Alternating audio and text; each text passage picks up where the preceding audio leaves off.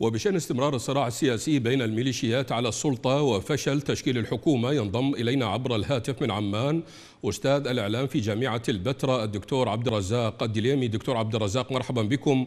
يعني لنبدأ من تصريح بلاسخارت أمام مجلس الأمن اتهمت صراحة أساس في العراق بالبحث عن مصالحهم الخاصة وعدم الاهتمام بالمصالح الوطنية. كيف يمكن قراءة هذا الاعتراف من مبعوثة الأمم المتحدة في العراق دكتور؟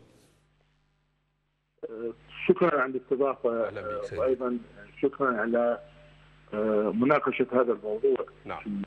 الحساس اللي أصبح الآن الشغل الشاغل لسياسي القدس بالعراق. نعم. وأيضا الاهتمام من بعض القطاعات الشعبية العراقية، الحقيقة موقف ممثلة الأمم المتحدة لا يخرج عن التصور الآن أو الخطة الآن الموضوعة لإجراء بعض التغييرات وإعادة إنتاج المشهد بالعراق بشكل مختلف.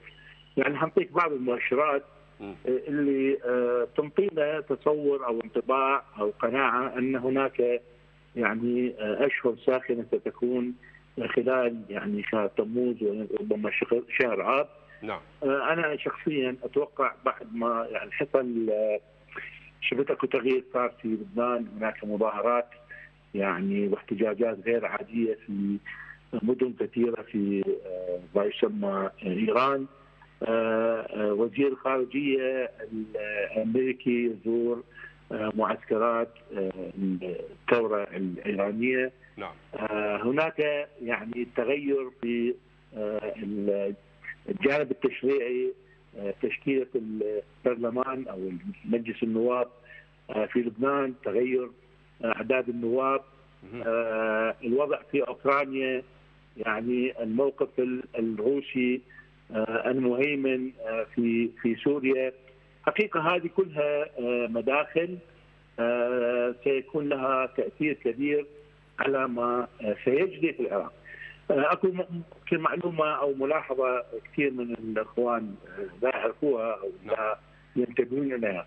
الحقيقة الملف الملف العراقي انتقل يعني منذ فترة ليست يعني قليلة من وزارة الخارجية الأمريكية إلى الأم آي 6 البريطانية، يعني الآن ملف العراق هو بيد بريطانيا وليس بيد الولايات المتحدة الأمريكية. ما الفرق بين الاثنين دكتور؟ إذا كان يعني قوات الاحتلال ما الفرق بين الاثنين بريطانيا والولايات المتحدة؟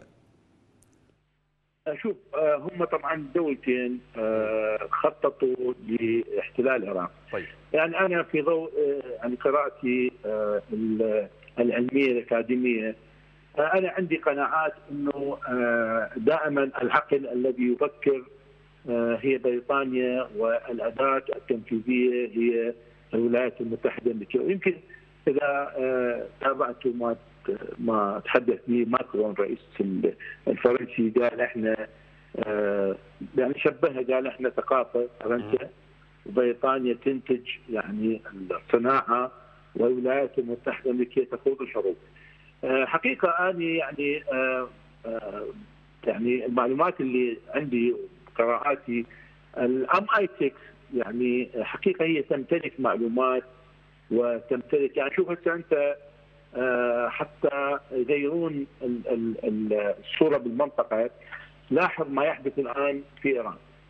يعني نعم. أنا أتذكر في عام 2006 نعم. عندما سألني ريشارد مورفي اللي هو نائب وزير خارجية زمن هنري كيسنجر نعم قال لي هل تنصحنا يعني دا ياخذ رأيي قال لي هل تنصحنا نستخدم القوه العسكرية مع مع إيران. نعم. قلت له بصراحة قلت له ليس لمصلحتكم لأنه الوضع الآن بين النظام وبين الشعوب الإيرانية وضع غير هادي. يعني الشعوب الإيرانية تحاول تتخلص من هذا النظام.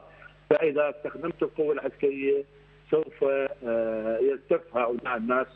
ما في يعني إنسان شريف بالعالم يقبل يصير عدوان على بلده.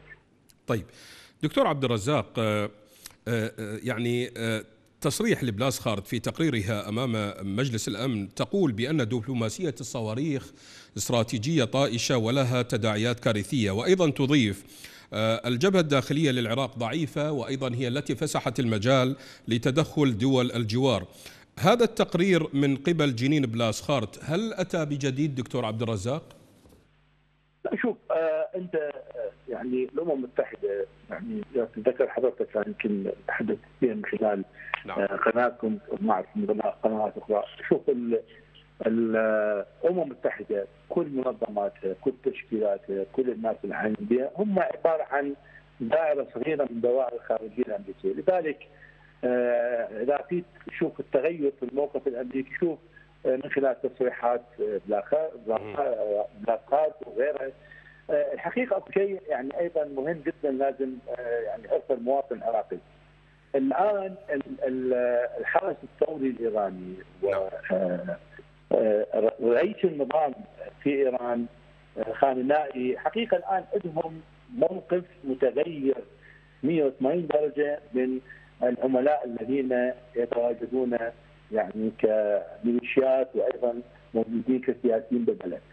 هؤلاء يعني الآن نفضوا ايديهم من من العملاء واظن أظن يعني ما سيحدث قريبا هو طبعا بتنسيق وتوافق بين النظام الإيراني وبين بريطانيا والولايات المتحدة الامريكيه من جهة، لذلك أتوقع يعني خلال الفترة القادمة سيكون هناك صيف ساخن.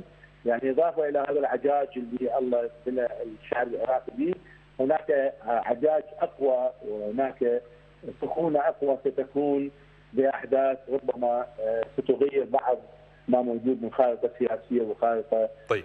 عسكرية في العراق. دكتور بلاس خارت أيضا تقول بأن موضوع تجاهل الاحتياجات الأساسية للشعب العراقي هو أمر واضح. طيب السؤال هنا إذا كان هذا إقرار من الأمم المتحدة وأيضا في مجلس الأمن لماذا يدعم المجتمع الدولي هذه السلطة بالأساس؟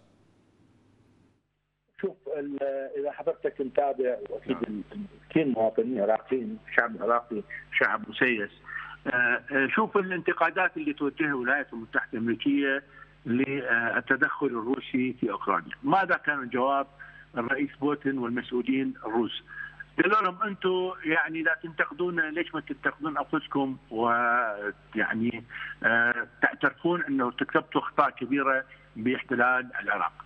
الجرائم التي ارتكبت من قبل الولايات المتحدة الأمريكية وبريطانيا وحلفائها ومعهم آه نظام الملالي في إيران آه، في العراق الحقيقة يعني يندى لها الجبين، يعني المفروض الآن آه، إحنا نطالب بالعراق بمحاكمة كل المسؤولين عن هذه الجرائم ابتداء من التخطيط احتلال العراق ومن ثم احتلاله وما حدث من 2003 لحد الان نعم. ولكن كما تعلم الحقيقة لاسخات وغيرها هذول ناس يعني يكلفون هو كل ما في الأمر الآن يريدون يقولون إنه هاي العملية السياسية وصلت إلى مرحلة من الفشل لا نعم. يمكن السكوت عليها وراح يقررون يعني ال ال ال ما ما قلت قبل شوية التغييرات التي ستحدث. آه يعني أتوقع أن يمكن اكون شوية ظروف صعبة حتمر بالشعب العراقي خلال الفترة القادمة.